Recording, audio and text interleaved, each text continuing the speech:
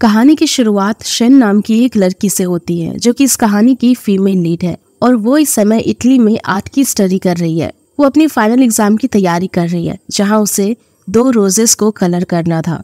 उसकी दोस्त मीना वहाँ आकर उसे ट्विंस रोजेस के बारे में कहानी बताती है, जो रोजेस हमेशा एक साथ रहते थे। एक दिन उनमें से एक रोज मर जाता है। तो अगर उसे कोई और रोज मिलेगा तो वो भी मर जाएगा। ये कहानी शन को मज़ेदार लगी। वो उसे एक सिली स्टोरी कहकर वहाँ से निकल जाती है। पर सच में वो नहीं जानती थी कि एक और लड़की है, जो बिल्कुल उसी की जैसी दिखती है, जिसका नाम यान है। उसे देखकर लगता है कि वो इटली में आकर छुपी है, क्योंकि उसके ग्रैंडफादर ने उसे वहाँ भेजा था। उसकी फैमिली में, उसकी फैमिली की कंपनी मुश्किल में है, क्योंकि उसके ग्रैंडफादर बीमार थे। पर जैसे ही वो ठीक होंगे, वो उसे लेने आने का वादा करते हैं। जब वो कैंपस जा रही थी, तब एक लड़का वहाँ आकर उसके साथ बदतमीजी करने की कोशिश करता है। लेकिन यान ने उसे नजरअंदाज किया। फिर उसे एक ऐसे शख्स का फ़ोन आता है, जो कहा जाता है कि सत्रह साल पहले मर चुका है। ये सुनकर यान चौक गई। हम यहाँ एक फ्लैशबैक देखते हैं, जहाँ एक ट्रक से कार का एक्सीडेंट हो जाता है। पर इसके आगे क्या हुआ ये क्लियर नहीं है। उसे सिर्फ़ इतना पता है, जिस शख्स ने उसे फ़ोन किया था वो कैंपस के बाहर उसका इंतज़ार कर रहा है। इस बीच हमें हमारे मेन लीड को देखते हैं, जो चेहरे से बहुत ही गंभीर दिख रहा था। उसने हाथ में एक रिंग पहनी थी। शन को लगता है वो सुरक्षित नहीं है और कोई उसका पीछा कर रहा है। तभी उसके पास एक लड़का आता है। वो उसे कहता है कि बाहर कोई चाइनीज़ लड़का उसका इंतज़ार कर रहा है।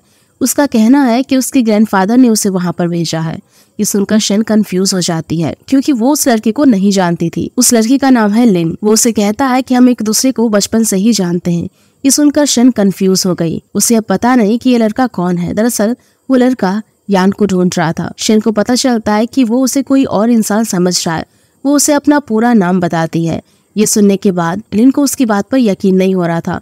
उसने कहा कि वो सही इंसान के पास आया है। यहाँ तक कि उसने शन को यान की फ़ोटो भी दिखाई। पर शन ने उसे बताया कि वो ये लड़की नहीं है, जिसे वो ढूंढ रहा है। उसके डैड मामूली से एक ड्राइवर हैं, न कि कोई बड़ी हस्ती। उसे उन अमीर फैमिली के बारे में कुछ नहीं पता। शन ये सोचकर डरने लगी, जब उसे उन ट्विन रोज की कहानी याद आती है। वहाँ जाने के बाद शन उसके जैसे दिखने वाली यान को देखती है। वो दोनों एक दूसरे के सामने आते हैं। वो एक दूसरे को देखकर शौक हो गए। उन्होंने कुछ नहीं कहा, पर शन ने तुरंत अपने दोस्त मीना को फ़ोन करके उस ट्विन रोजेस की स्टोरी के बारे में पूछा। वो कुछ जान पाती, तभी एक अनजान शख्स उसका पीछा करते हुए उसे यान समझकर किडनैप कर लेता है। दूसरी ओर, यान उस लड़के से मिलने आती है, जिसने उसे फ़ोन किया था। वो लड़का उसे कहता है कि अब वो उसके साथ फ्लर्ट नहीं करेगा। तब उसने शन को देखा। कोई कार वाला उसे बेहोश करके ले जा रहा था। वो उसकी तरह दिखने वाली लड़की को किडनैप होते हुए देखकर शौक हो गई। वो उसके लिए परेशान हुई। उसने उस लड़के से मिलने का प्लान कैंसिल किया। वो जिससे मिलने वाली थी, उसका नाम है चेंग। वो वही है जो सत्रह साल पहले गायब हुआ था। यान ने उसे फ़ोन करके कहा कि पहले उसे किसी की जान बचानी है। उसने अपने कार से उस किडनैपर का पीछा किया। उसने उसे कार से ज़ोर से धक्का दिया और शन को बचाया। एक दूसरे से मिलने के बाद शन ने एक्सप्लेन किया कि उस किडनैपर ने उसे कोई और समझकर किडनैप किया, क्योंकि वो दोनों बिल्कुल एक जैसे दिखते हैं। कार से जाते वक्त दूसरी ओर से एक बड़ा सा ट्रक आता है और उस कार को क्रैश करता है। ये देखकर यान ने तुरंत अपना फ़ोन शन को दिया। उसने चंग को कॉल किया, जिसने कार के क्रैश होने की आवाज़ सुनी और तुरंत अपने दोस्त के साथ वहाँ पहुँचा। उन दोनों को अस्पताल ले गया। लंबे समय के बाद डॉक्टर बाहर आकर कहते हैं, उनमें से यान की मौत हो गई। शन को गहरी चोट आई है, खास करके उसकी आँखों को। एक्सीडेंट की वजह से इंजरी हुई है, खास करके उसकी आँखों को एक्सीडेंट की वजह से इंजरी हुई है। चेंग और यान। चेंग का यान के साथ खास लगाव था। उसकी मौत की खबर से वो टूट गया। वो वहाँ से जाने वाला था। पर डॉक्टर ने उसे रोक लिया। उसने कहा कि वो उसे कुछ दिखाना चाहता है। उसने कहा कि दोनों लड़की एक दूसरे की जैसी दिखती है। ये देखकर चिंग शॉक हो गया। डॉक्टर ने एक्सप्लेन किया कि शेन को तुरंत कॉर्निया ट्रांसप्लांट की ज़रूरत है और सबसे जल्द अगर कोई ऑनर मिलेगा तो वो यान ही है। ये सुनकर चेंग को गुस्सा आया उसने मिरर को एक पंच किया, जिसकी वजह से उसके हाथ में चोट पहुँचती है। यान की कॉर्निया का इस्तेमाल करके शन की आँखों की रोशनी वापस आ जाती है। पंद्रह दिन बाद शन को होश आता है। चेंग को अपने करीब देखकर वो डर जाती है। वो उसे कहता है कि शन की मौत हो चुकी है और उसका नाम यान है। ये सुनकर वो कंफ्यूज हो गई, पर उसने देखा कि पेशेंट की इन्फॉर्मेशन में यही लिखा था। पर उसे पता है कि वो शन है। वो वहाँ से अस्पताल के छत पर जाती है और ज़ोर से रोने लगती है। वो कहती है कि अगर कोई भी उसके पास आएगा तो वो वहाँ से नीचे छलांग लगाएगी। चेंग ने उसके पास जाने की कोशिश की। शन और भी ज़्यादा रोने लगी। चेंग ने गुस्से से उसे कहा कि अब अपनी आँखों को हाथ लगाना बंद करो। उसने उसे एक्सप्लेन किया कि उसे किसी और ही वजह से आँखें मिली है, जिसकी मौत हुई है, उसकी आँखें शन को लगाई गई है। ये सुनने के बाद उसे कार एक्सीडेंट याद आता है, जिसमें यान ने उसे प्रोटेक्ट किया था, जिस वजह से उसकी मौत हुई। उसने कहा कि उसका मिलना एक इत्तेफाक था। अब उसे यान के लिए जीना होगा, पर वो इसके लिए तैयार नहीं हो रही थी। तभी अचानक उसका पैर फिसलता है और वो गिरने लगी। तभी चेंग ने उसे बचाया। उसने उसे याद दिलाया कि उसे यान के लिए जीना होगा। चेंग के दोस्तों ने मिलकर शेन को वहाँ से निकाला। शेन ने चेंग को हक किया और तुरंत उससे दूर हो गई। कार एक्सीडेंट को याद करके वो पूरा दिन दुखी रही। उसे यान की आखिरी विश याद आई। जो उसने मरने से पहले की थी। उसने शन से उसकी जगह लेने को कहा था। उसका फैमिली बिज़नेस संभालने को कहा था। ये याद करके शन अपने जान बचाने के बदले यान बनने के लिए तैयार हो गई। उसने जेंग से पूछा, क्या इसके लिए एक साल काफ़ी है? जेंग ने शन की तरफ़ अपना हाथ आगे किया। इसके बाद शन चाइना वापस आई, जहाँ उसे पता चला कि यान एक अमीर खानदान से बिलोंग करती है। उनकी फैमिली की फ़ेमस ज्वेलरी की कंपनी है। उसके ग्रैंडफादर जैनचा ने इस कंपनी की शुरुआत की थी। यान की मॉम उसके ग्रैंडफादर की सबसे पसंदीदा थी। उसके डैड की जब कार एक्सीडेंट में मौत हुई, तब यान सिर्फ़ सात साल की थी। तब उसकी मॉम उन्हें छोड़कर चली गई। उसके ग्रैंडफादर ने यान को दूसरी कंट्री में भेज दिया। वो वहीं पर बरी हुई। पर उसका मकसद यही था कि अपने घर वापस जाकर अपने फैमिली बिज़नेस को संभालना है। एक महीने पहले उनकी कंपनी का भारी नुकसान हुआ। जिसकी वजह से उनकी ग्रैंडफादर बीमार हो गई। इसीलिए यान को वापस चाइना आना पड़ा। उसे ना तो सिर्फ़ उसकी बातें याद रखनी थी, बल्कि उससे जुड़ी छोटी सी छोटी बातों का भी ख्याल रखना था। उसे कम समय में यान के बारे में सब कुछ याद करना पड़ा। इसलिए उसने एक चिट बनाई। चेंग ने उसे अपने हाथों से जला दिया और उसे वॉर्न किया कि वो कोई चिट नहीं बना सकती, वरना सबको उसकी सच्चाई पता चलेगी। चेंग पास्ट में गायब हुआ था और अब वो वापस लौटा था, जो कि एक मिस्ट्री है। न्यूज़ चैनल वालों ने अनाउंस किया कि जिया, जो कि यान का कजिन है, वो लंघाई कंपनी का न्यू हेड है। बोर्ड मेंबर्स को ये बात पसंद नहीं आई कि जिया को सीईओ बनाया है। वो उसके कैरेक्टर और एबिलिटी पर शक करते हैं। उस वक्त वहाँ पर शेंग शेन को लेकर आता है। वो उसे यान के नाम से इंट्रोड्यूस करता है। जिया को देखकर शन नर्वस फील करती है। चेंग के सपोर्ट की वजह से वो वहाँ पर खड़ी हो पाई। चंग ने कहा कि उसे सीईओ की पोजीशन लेने में, कि उसे सीईओ की पोजीशन लेने का कोई हक नहीं है। वो उन्हें देखकर नर्वस होने लगी। पर चंग ने उसे इनकरेज करते हुए सपोर्ट दिखाया। उसने साहस जुटाकर कहा कि वो इस बात से सहमत नहीं है। जिया सीईओ बने। उन्हें ये सुनकर अच्छा नहीं लगा कि यान ज़िंदा है। कंपनी के निकलने के बाद कंपनी से निकलने के बाद, चेंग ने शेन को यान के फैमिली से मिलवाया, जहाँ पर चेंग और शेन एक दूसरे से प्यार करने का नाटक करते हैं। चेंग ने खुद को यान का फ्यान से होने का दावा किया। उसने कहा कि एक साल पहले वो एक दूसरे को डेट कर रहे थे और अब यान की मदद करने के लिए वो यहाँ पर आया है। तभी चंग ने दीवार पर एक पेंटिंग देखी, जिसे देखकर वो इमोशनल हो गया। उसने शेन के हाथ को चोट पहुंचाई। यान की आंटी चे श्वान सीढ़ियों से नीचे आई। चंग ने उसे ऐसी नज़रों से देखा, जैसे उन दोनों में किसी बात को लेकर कोई लड़ाई है।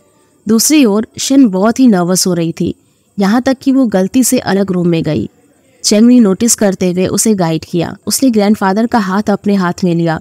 जो उसके लिए इमोशनल हो रहे थे। शेन ने देखा कि पर्दे के पीछे यान के बहुत सारे फैंसी कपड़े थे। उसी के साथ उसके शूज़, बैग का कलेक्शन और ज्वेलरी भी थी, जो देखकर वो चौंक गई। दूसरी ओर, लिन मन में शन के बारे में सोच रहा था। उसे लगता है कि वो उसे पसंद करता है, पर दूसरी ओर वो सोच में पड़ गया। उसके पास जो इन्फॉर्मेशन है, वो सही है। फिर भी वो उसे क्यों नहीं ढूंढ पाया? वो सोच में पड़ गया कि आखिर वो कहाँ है? अचानक दूसरी कंपनी की एक लड़की वहाँ पर आई और उसने लिन को डिज़ाइनर की जॉब ऑफ़र की जहाँ पर वो उसे अच्छी सैलरी देने को तैयार थी। पर लिन ने उसे मना किया। उसका उस लड़की से फोकस हट गया जब उसने न्यूज़ देखी कि यान चाइना वापस लौटी है। सीन शिफ्ट होता है जहाँ पर शेन गार्डन में चल रही थी। उसे पता नहीं था कि कोई उसका पीछा कर रहा है। लिन अचानक उसके सामने आया। उसने शन का नाम पुकारा। लिन को देखकर वो नर्वस हो गई, पर उसने कहा कि वो शन नहीं है। उसे उसकी बात पर यकीन नहीं हो रहा था, लेकिन लिन ने उसका हाथ ज़ोर से पकड़ते हुए उसके बारे में पूछा। उसने डरते हुए अपने बारे में बताया। तभी उसका फ़ोन नीचे गिर गया, जिससे उसे पता चल गया कि वो यान नहीं, बल्कि शन है। उसे फिर भी उस पर शक होता है। उसने यान को कॉल करने की कोशिश की।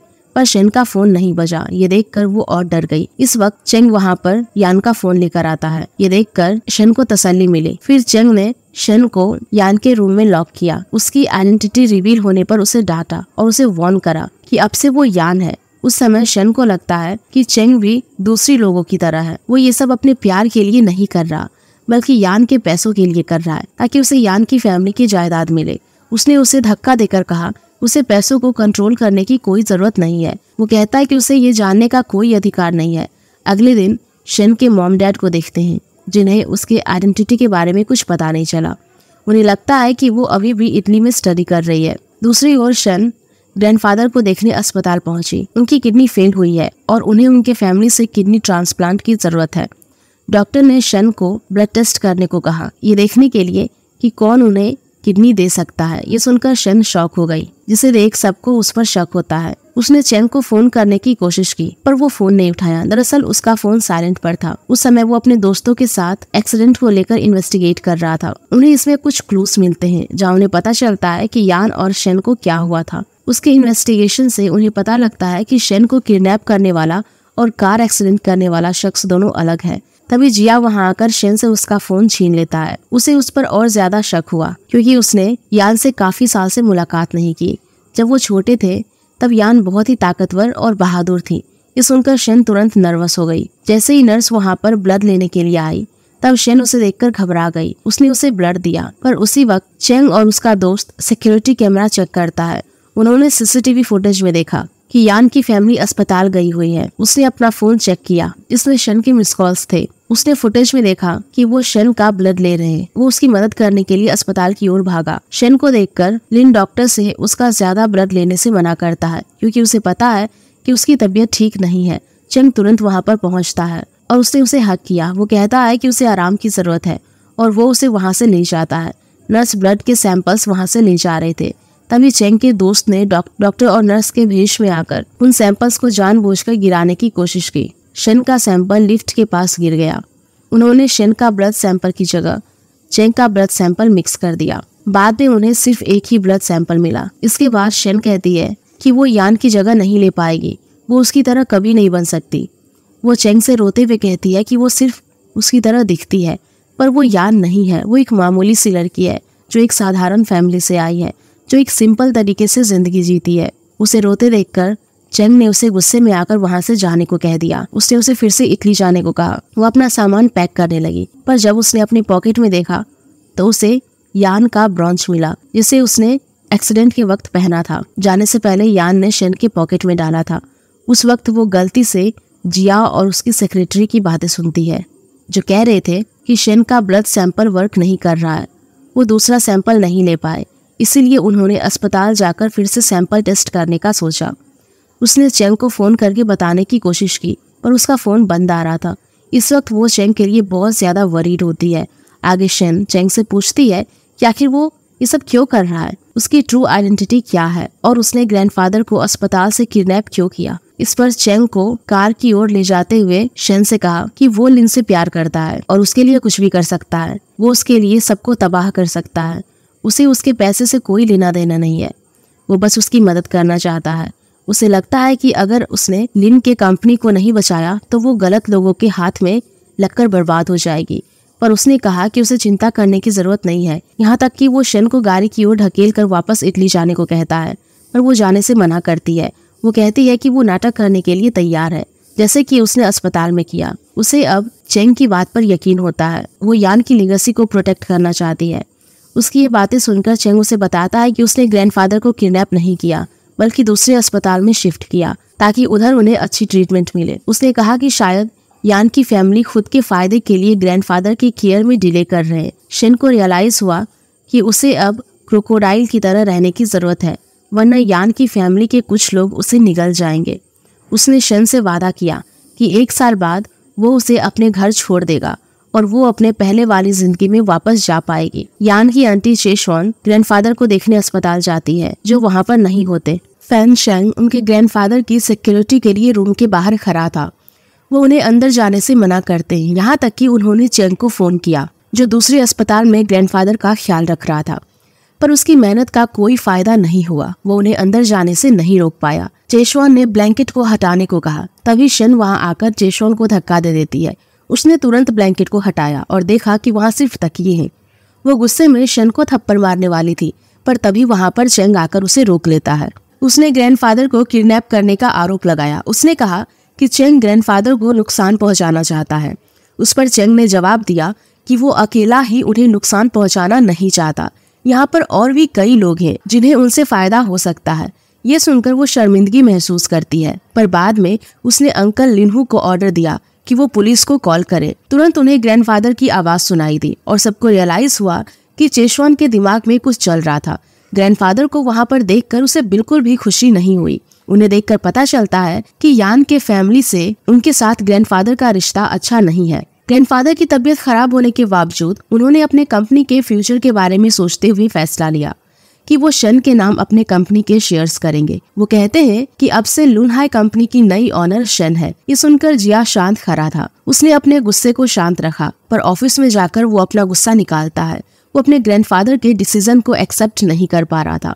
उसके सेक्रेटरी ने उसे समझाया कि ग्रैंडफादर ने उस कंपनी का नया सीईओ बनाया है, पर उसे बिज़नेस की ज़्यादा नॉलेज नहीं है। जैसे ही कंपनी के बुरे दिन आएँगे, वो उस बात का फ़ायदा उठाते हुए उसे हरा देंगे। आगे चंग को रूम में देखकर शन चौक गई। उसे लगा कि वो उसे कुछ ज़रूरी बातें बताने के लिए आया है। पर चंग ने उसे कहा कि अब वो वहाँ पर ही एक साथ रहेंगे, जिससे कि वो उसका ख्याल रख सकता है और उसे बिज़नेस चलाना भी सिखा सकता है। वो चाहता है कि शेयर होल्डर के मीटिंग में उसे कोई गलती ना हो।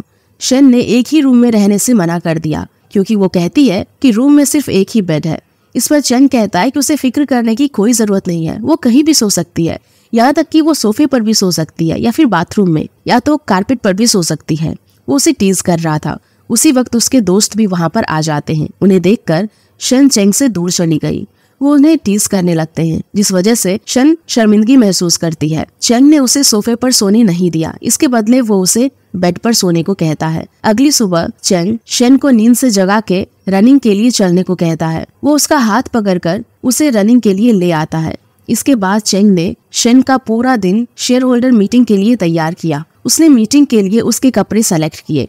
उसके साथ उसके शूज़, लिपस्टिक और हेयर एक्सेसरीज को भी चुनने में मदद की। एक रात चेंग को पास्ट वाले एक्सीडेंट के बारे में सपना आता है, जिसमें शेन के पेरेंट्स भी शामिल थे। उसे देखकर शेन चौक गई। उसने सपने में देखा कि वो पानी में डूब रहा है। उसे देखकर पता चलता है कि वो इसीलिए पानी वाली पेंटिंग को देखकर डर जाता है। शन ने वरीड होकर चेंग को नींद से जगाने की कोशिश की।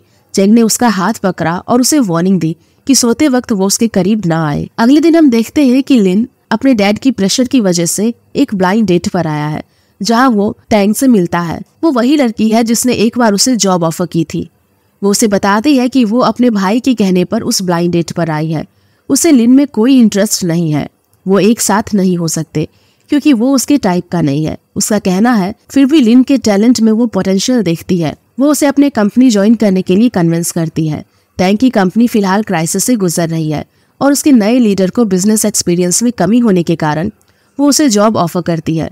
वो चाहती है कि इसके बारे में सोचे, अपने सपने को अचीव करने में मदद करने का वादा करती है। उसने उसे दो दिन सोचने का मौका दिया। कंपनी में सुबह से शेयर होल्डर मीटिंग की तैयारी शुरू थी और सारे इम्प्लॉय इसी काम में लगे हुए थे। शन नर्वस दिख रही थी।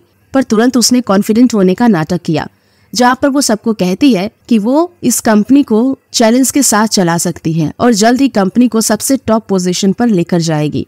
इसी के साथ उसने अनाउंस किया कि चेंग अब इस कंपनी का हिस्सा है। शेन को पता नहीं था उस कंपनी में मीना नाम की एम्प्लॉय है, जो डिज़ाइन डिपार्टमेंट में काम करती है। उसने शेन को देख लिया, वो उसका नाम पुकारने वाली थी।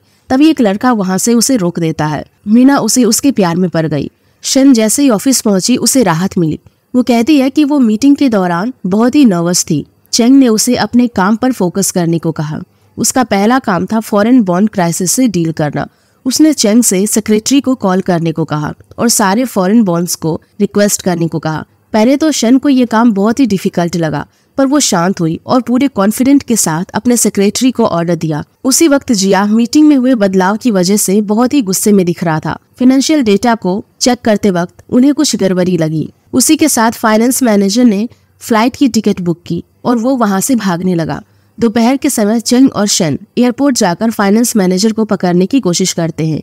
उसके कार का पीछा करते हुए वो अपने कार से उसे फॉलो करते हैं। मैनेजर पैनिक होकर भागने लगा।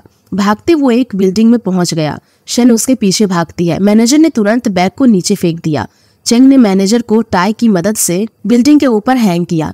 मैनेजर ने कन्फेस किया कि उसके पास डेटा अभी भी है। उसने वो चिप शेन को दी।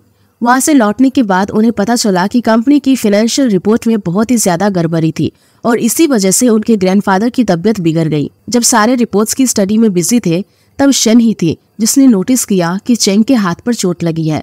उसके पास रिपोर्ट्स चेक करने के लिए सिर्फ़ तीन दिन बचे थे, इसलिए शन और चेंग पूरा दिन ऑफ़िस में ओवर टाइम करके प्रॉब्लम को सॉल्व करने की कोशिश करते हैं। रात में शन देखती है चंद सोफे पर बैठे ही सो रहा था। उसे उसके हाथ की चोट याद आती है। वो उसे बिना जगाए मदद करना चाहती थी, पर उसकी आहट से चंग जग जाता है। अपने चोट का ख्याल ही नहीं था। उसका फोकस सिर्फ़ फॉरेन बॉन्ड प्रॉब्लम्स को सॉल्व करने पर था। शन भी इसी काम में लगी थी। उसे पता लगा कि आखिर कौन से पेज पर गड़बड़ी हुई है। जब वो चेंग को बताने के लिए पीछे मुड़ी तो उसे रियलाइज़ हुआ कि वो चेंग के काफ़ी नज़दीक आई है। वो उसे ही देख रहा था। उन दोनों को रियलाइज़ हुआ कि दोनों भी एक दूसरे को देखकर ऑकवर्ड हुए हैं। इसी बीच टोंगलिन बहुत ही गुस्सा हो रही थी, क्योंकि उसे लिन ने अभी तक जवाब नहीं दिया था। वहीं उसका भाई बिल्कुल शांत दिखाई दे रहा था, क्योंकि उसके पास लिन के लिए दूसरा प्लान मौजूद था। दूसरी ओर हम देखते हैं कि शेन को आखिरकार सॉल्यूशन मिल गया था। उसने दूसरे डिपार्टमेंट को ऑर्डर दिया। वो सब काम में बहुत बिज़ी दिख रहे थे।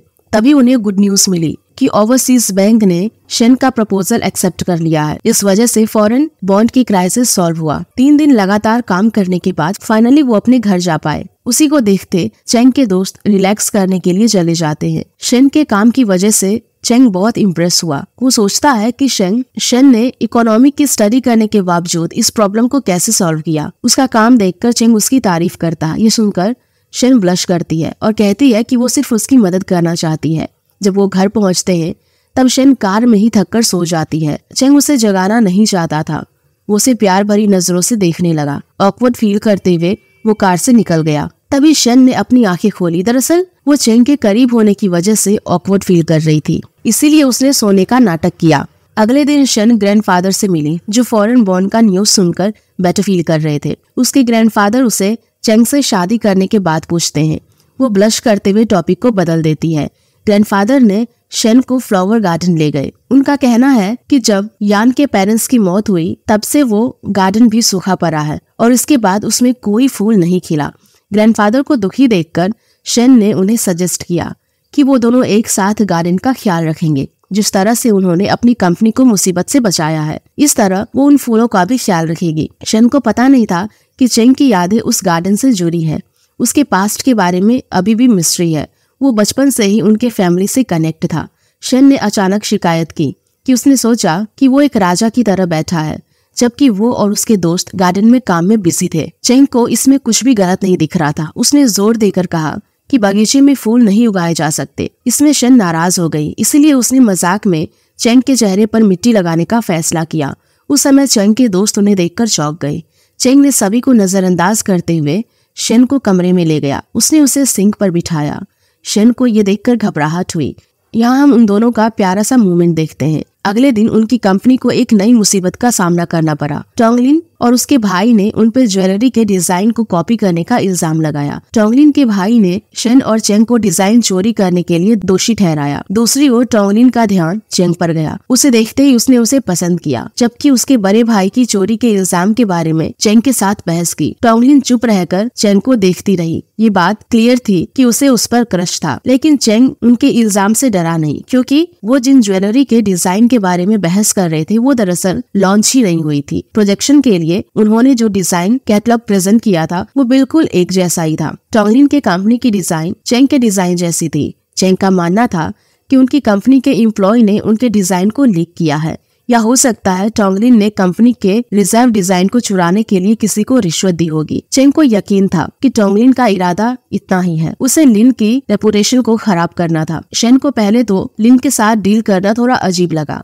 लेकिन उसने तुरंत खुद को संभाला। हालाँकि शेन को आर्ट का नॉलेज था। वो तुरंत बता सकती थी कि कुछ डिज़ाइन प्रेजेंटेशन में प्रदर्शित करने वाले बहुत नॉर्मल थी। उसे डर था कि वो बायर्स को आकर्षित नहीं करेंगे, जो उस समय उनकी एनुअल सेलिंग को अफेक्ट कर सकती है। शन के ऐसे बर्ताव से लिन चौक गया, क्योंकि वो सच में यान से मिलती जुलती थी। शन ने लिन को याद दिलाया कि उसे अपने काम पर ध्यान देना चाहिए, क्योंकि उनके पास डिज़ाइन का नया ज्वेलरी सेट बनाने के लिए थोड़े ही दिन बचे हैं। टॉगलिन इसके बाद चेंग को पाने के लिए चेंग के बारे में इंफॉर्मेशन जमा करने की कोशिश के लिए चेंग के बारे में इंफॉर्मेशन जमा करने की कोशिश की, लेकिन वो ज़्यादा इंफॉर्मेशन प्राप्त करने में असफल रही, क्योंकि चेंग का पास्ट मिस्टीरियस था और उस समय की इंफॉर्मेशन उसके पास नहीं थी। टोंगलिन ये जानने के लिए उत्सुक हो गई, क्योंकि उसने जो भी इंफॉर्मेशन जमा की चेंग के चाइना लौटने के बाद की थी। फॉरेन कंपनी में फॉरेन कंट्री में उसकी ज़िंदगी के बारे में जानना मुश्किल था। क्योंकि उसे देखकर ऐसा लग रहा था जैसे वो अचानक से कहीं से आ गया हो और उसे मिस्ट्री को और उसने मिस्ट्री को और भी गहरा कर दिया। उसने अपने बड़े भाई से शर्तें भी लगा ली कि वो चेंग पे अपना जादू करने में कामयाब रहेगी। इस बीच शन और लिन पूरी रात डिज़ाइन को डिस्कस करते हैं। लिन को एक आइडिया मिला। उसने डिज़ाइन को ट्विन रोजेस के पेंटिंग में बदलने का सोचा और उसकी आइडिया से शन दुखी हुई, क्योंकि इससे उसे ट्विन रोजेस की पेंटिंग याद आई। उसके नाराज़ होने के बावजूद शन ने उसे इस बात पर सहमति दिखाई और डिज़ाइन पर कुछ सलाह भी पेश की, जिस तरह से शेन ने पेंसिल पकड़ी थी, उसे देखकर लिन चौक गया और उसे एहसास हुआ कि उसके हाथ एक आर्टिस्ट जैसे हैं। उसे याद आया कि इससे पहले जब वो मिले थे, तब शेन ने उसे खुद को फाइन आर्ट स्टूडेंट इंट्रोड्यूस किया था वो आगे कुछ डिस्कस कर पाते, तभी सेक्रेटरी ने रिपोर्ट किया कि रिपोर्टर्स का ग्रुप नीचे आया हुआ है और उन्हें इस सिचुएशन के बारे में पहले से पता है टोंगलिन ने उनके कंपनी के स्टॉक प्राइस कम होने के लिए पहले ही सब जगह न्यूज़ फैला दी थी। अगले दिन जब मार्केट ओपन हुआ, तब उस समय टोंगलिन की चालाकी से परेशान होकर लिन ने रिपोर्ट्स को संभालने की कोशिश की। हालाँकि उन्हें इस बात का एहसास हुआ कि किसी ने उनके ऑफ़िस में चुपके से जाकर ताला लगा दिया। और हवा में धुआँ छोड़ दिया। कई रिपोर्टर्स के जवाब के लिए उनका रास्ता रोक दिया। इसी बीच शन अंदर फंसने की वजह से वो नीचे गिर गई। तभी वहाँ पर चेंग आता है। उसने डोर के लॉक को हाथों से तोड़ दिया। चेंग के दिल की धड़कनें तेज थी। तब उसने शेन को बेहोश पाया। बिना टाइम गवाए उसने उसे सीपीआर देने की कोशिश की, पर शेन ने कोई रिस्पॉन्स नहीं दिया। चेंग ने शेन को उठाकर अस्पताल ले गया। दूसरी ओर ग्रैंडफादर शेन की हालत देखकर गुस्सा हुए। वो घबरा कर सबको चिल्लाते हैं। शिन के रिकवर होते ही वो शांत हो गए, लेकिन उन्हें पता था कि एक एक्सीडेंट नहीं है, बल्कि किसी ने जानबूझकर उनकी ग्रैंड डॉटर की जान लेने की कोशिश की। इसीलिए उन्होंने चेंग से शादी करने की ऑर्डर दी। सबके चले जाने के बाद चेंग ने कहा कि वो सब पिछली रात की इंसिडेंट के बारे में इन्वेस्टिगेशन कर रहे हैं। वो शेन की तबीयत को लेकर वरीड फील करता है। उसने ऑकवर्ड होकर शेन का टेम्परेचर चेक किया। वो डॉक्टर को कॉल करने जा रहा था। तभी शेन ने उसका हाथ पकड़ते हुए उसे रोक दिया। उसने कहा कि उन्हें शादी कर लेनी चाहिए। ये सुनकर चंद शौक होता है, क्योंकि शेन ने अचानक उसे अपनी फीलिंग्स कन्फेस की। उसने कहा कि कल रात उसे सिर्फ़ चेंग का ख्याल आया था। उसे चेंग के साथ रहना था। फिर उसने चेंग को अपने साथ वहाँ रुकने को कहा। ये सुनकर चेंग को सवाल उठता है कि क्या शेन सच में उससे शादी करना चाहती है? उसने शेन से कहा, एक बार उसने उसे शादी कर ली तो फिर वो अपना माइंड नहीं बदल सकती। उसे इस बात पर भी फ़िक्र होती है। चेंग की ट्रू आइडेंटिटी पता चली तो उसे पता करना था, क्या सेन उनकी शादी को लेकर सीरियस है। ये सुनने के बाद शन कंफ्यूज हो गई और उसने चेंग का हाथ छोड़कर उसे जाने दिया। वो उसे रूम में अकेला छोड़कर चला गया। पर दोनों भी एक दूसरे के साथ बिताए पलों को नहीं भूल पाए। दरअसल उन दोनों को रियलाइज़ हुआ कि उन दोनों को भी एक दूसरे के साथ रहना है। उन्होंने दरवाज़ा खोला। और चेंग ने कन्फ्रंट किया कि क्या वो सच में उसके साथ रहना चाहती है। शन ने जवाब दिया कि उसे नहीं पता कि वो इसके लिए तैयार है या नहीं। उसने उसे कहा कि वो दोनों एक साथ रह सकते हैं। एंगेज होने के बाद वो उसे अपनी आइडेंटिटी रिवील करेगा। आज की ओपन मीटिंग में जर्नलिस्ट भी शामिल हुए थे, जहाँ पर लिन का प्रमोशन करते हुए उसे डिज़ाइन सेंटर का डायरेक्टर बनाया गया, जबकि जिया को लॉजिस्टिक डिपार्टमेंट संभालने को दिया। इस डिसीज़न की वजह से उन्हें गुस्सा आता है, पर शेन ने इस सिचुएशन को अच्छे से संभाल लिया। शेन ने मीटिंग के दौरान चेंग से अपने एंगेजमेंट की बात की अनाउंस की। उसने कहा कि एंगेज होने के बाद वो दोनों इस कंपनी के ऑनर होंगे। उन दोनों के एंगेजमेंट के दिन ग्रैंडफादर बहुत ही खुश थे, पर चेशवन को अच्छा नहीं लग रहा था। तभी मीना गलती से टोंगलिन से टकराती है, जिसकी वजह से उसका फ़ोन नीचे गिर जाता है। टोंगलिन उसके फ़ोन में उन दोनों को एक साथ फ़ोटो में देख लेती है और उसे शन पर शक होता है। आगे शन और चंग की एंगेजमेंट होती है। मीना अचानक वहाँ पर आकर शैन को देखकर ज़ोर से उसका नाम पुकारती है। उसे वहाँ देखकर सबका ध्यान उसकी ओर जाता है, पर तभी चेंग के दोस्त आकर उसे वहाँ से ले जाते हैं। टोंगलिन को ये सब देखकर सस्पिशियस लगता है। वो उन दोनों की फ़ोटो के बारे में सोचने लगती है। शेन बहुत ही नर्वस फील कर रही थी। उस पर शेंग उसे कहता है कि उन्होंने इससे पहले भी बहुत सारी मुसीबतों का सामना किया है तो उसे वरी होने की ज़रूरत नहीं है। तभी वहाँ पर टोंगलिन आ जाती है।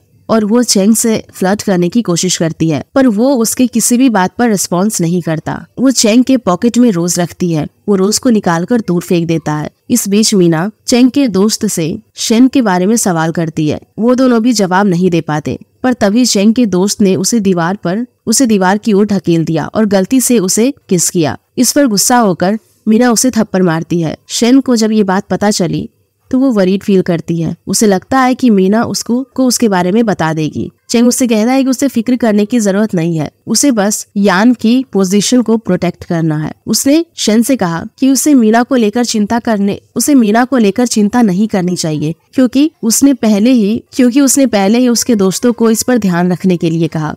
इस बीच लिन बार में बैठकर शेन के ख्यालों में खोया हुआ था। उसे यकीन था कि यान ही शेन है। उसे इस बात पर यकीन नहीं होता कि वो दोनों अलग हैं, बस एक दूसरे की तरह दिखते हैं। तभी वहाँ पर टोंगलिन आती है। वो उसे कहती है कि उसे चेंग चाहिए। उसे लगता है कि यान को पसंद नहीं करता और उसे याद है कि लिन उसे चाइना लेने गया था। तो अचानक शेन और चेंग घर पर एक साथ कैसे लौटे? उसकी बातें सुनकर लिन उसे बिना कुछ कहे वहाँ से चला जाता है, जिसकी वजह से उसे शन पर और भी ज़्यादा शक होता है और बिना समय गवाए किसी को फ़ोन करके उसकी इन्वेस्टिगेशन करने के लिए कहती है। अगले दिन टोंगलिन ऑफ़िस आकर शन से कहती है कि उनकी कंपनी की डिज़ाइन अपने खुद के स्टूडियो के लिए खरीदना चाहती है।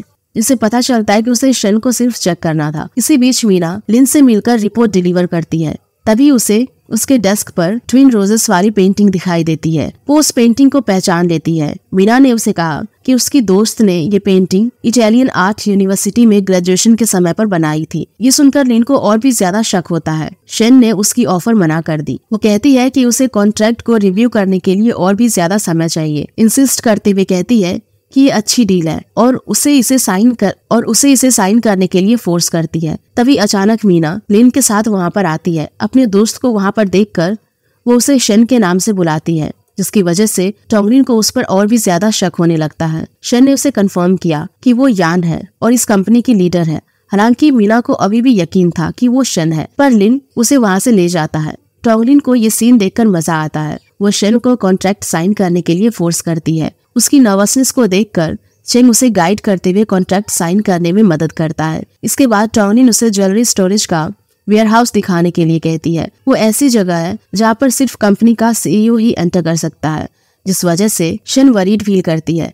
यहाँ पर चेंग का दोस्त सिक्योरिटी सिस्टम को हैक करने की कोशिश करता है। सिक्योरिटी सिस्टम लॉक होने से पहले शन को पासवर्ड एंटर करना था, क्योंकि उसके आइडेंटिटी से ही वो लॉक खुलने वाला था, पर उसे उसका पासवर्ड नहीं पता, जिस वजह से वो कंफ्यूज हो जाती है। इस वक्त शन ने पासवर्ड गेस करने की कोशिश की, जहाँ पर पहली और दूसरी बार पासवर्ड गलत निकला। पर तीसरी बार पासवर्ड एंटर किया, जो कि यान के पेरेंट्स की डेथ की डेट थी। उसके पासवर्ड एंटर करने से लॉक तुरंत ओपन हो गया। फिर भी टॉगलिन उसकी आइडेंटिटी पर शक करती है। शेन अपने फिंगरप्रिंट्स का इस्तेमाल नहीं करती थी। फिर भी उसने पासवर्ड को ढूंढ निकाला। जिसे देखकर उसे भी राहत महसूस होती है। दरअसल सिक्योरिटी सिस्टम ने उसके कॉर्निया को स्कैन करके उस वेयर हाउस को खोल दिया, जो कि यान के कॉर्निया उसे लगाए हैं जिसे देख टोंगलिन और लिन कंफ्यूज हो जाते हैं। इसके बाद शन उसके ऑफ़िस में वापस लौटती है। चेंग उसके करीब जाकर उसे किस करता है। घर जाते वक्त शन कार में सो गई थी। उसका बेल्ट निकालते वक्त वो शन के चेहरे को देखता है। उसने उसे कार से निकाला। वो उसे घर के अंदर ले जा रहा था। तभी शन नींद से जाग गई। वो ग्रैंडफादर को देखकर शर्मिंदगी महसूस करती है। इसके बावजूद भी चेंग उसे अपने रूम में ले आया। जब वो रूम में पहुँचे, तब चेंग ने उसे अपने हील्स निकालने में मदद की। उस समय वहाँ से जाने वाला था। उस समय वो वहाँ से जाने वाला था। शेन ने उसे उसके साथ रुकने के लिए कहा। शेन ने अपना सर चेंग के पैरों में रखा। वो टोंगलिन की वजह से वरीड फील कर रही थी। उसे उस पर शक हुआ है। शेन को फ़िक्र है, कहीं टोंगलिन उसके सीक्रेट्स के बारे में पहले से जानती होगी। चेंग भी यही सोचता है। चेंग ने कहा कि टोंगलिन यान को पसंद नहीं करती। वो कहता है कि इंसिडेंट इसीलिए हुआ क्योंकि वो दोनों एक दूसरे की तरह दिखते हैं। वो उसे कहता है, यान तो चली गई, पर वो शन को ठीक से रहने के लिए इनकरेज करता है। यान ने भी उसके साथ रहने के लिए प्रॉमिस किया। वो उसे हमेशा एक साथ रहने के लिए कहती है। चेंग ने भी उसे वादा किया कि वक्त आने पर वो उसके बारे में सब कुछ बताएगा, पर अभी उसे कुछ नहीं बता सकता। रात के समय चेंग को वापस उस एक्सीडेंट का सपना आता है, जहाँ पर वो साफ़ साफ़ देख सकता है कि उसके पेरेंट्स उसे दिखते हैं। जहाँ पर उसने देखा कि एक्सीडेंट में सिर्फ़ वही बच गया था। तभी शन ने उसे जगाने की कोशिश की। वो उसके लिए वरीड फील करता है। वो उसे प्रॉमिस करती है कि वो उसे प्रोटेक्ट करेगी। उसकी आवाज़ सुनकर चेंग नींद से जग गया और उसे शन को देखकर राहत मिली। अगले दिन चेंग के लिए एक बड़ा टास्क था। उसे उस डॉक्टर को ढूँढने के लिए इटली जाना था, जिसने शन की मदद की थी। इस समय टोंगलिन उन पर नज़र रख रही थी, इसीलिए उन्हें बहुत ही ध्यान से काम करने की ज़रूरत थी। उनकी एक छोटी सी भूल सब कुछ बर्बाद कर सकती थी। इसी बीच शन की मॉम को देखते हैं, जिसे बहुत सारे ड्रिंक्स के ऑर्डर मिलती है। ऑफ़िस में काम करने के बजाय शन ड्राइंग निकालने में बिज़ी थी। यहाँ तक कि उसने लिन को भी आते हुए नहीं देखा। वो उसकी ड्राइंग देखकर चौंक गया, पर उसने शन को कुछ काम दिया तो शन को कुछ समझ नहीं आ रहा था। वो उसे कहती है कि इस काम में चैंग की मदद की ज़रूरत है। ये देखकर लिन को उस पर शक होता है और वो कंफर्म होता है कि उसके सामने जो लड़की बैठी है, वो यान नहीं है। उसने सोचा कि वो सिर्फ़ उसकी तरह दिखती है। इसीलिए उसे टेस्ट करने के लिए उसने उसे ड्राइंग देते हुए कहा कि उसे उसमें से किसी भी गलती को ठीक करना है। शेन ने बिना समय गवाए तुरंत उस ड्राइंग को बनाना शुरू किया। तभी वहाँ पर शेंग आकर उसे कहता है कि उसे ग्रैंडफादर ने बुलाया है। वो वहाँ से चली जाती है। हम देखते हैं कि ऑफ़िस में लॉबी के पास शन की मॉम को देखकर शन नर्वस फील करने लगती है, पर तभी उसके डैड भी वहाँ पर आए, जिसके साथ उनका पेट डॉग भी था। उस डॉग ने शन को पहचान लिया, जिसकी वजह से चीज़ें और बिगड़ी। दूसरी ओर, टेंगलिंग उन फैमिली को वीडियो कॉल करने के वीडियो कॉल के ज़रिए देख रही थी। उसने लॉबी में किसी को छुप के रिकॉर्डिंग करने को कहा। शन डर गई। उसने डैड से कहा कि उन्हें कोई गलत फहमी हुई है। वो वहाँ से जाने लगी, पर उसके डैड ये मानने को तैयार नहीं थे। पर तभी उसके ग्रैंडफादर वहाँ आते हैं।